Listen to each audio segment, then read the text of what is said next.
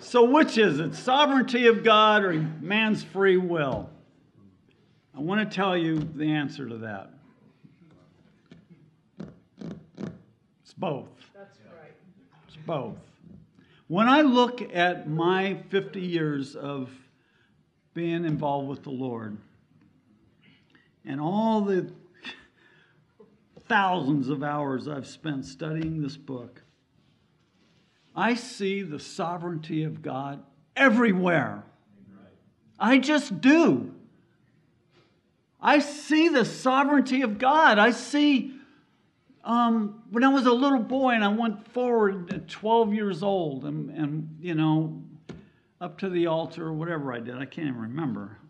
But from then on, it was like God had his hand on my life. And even all my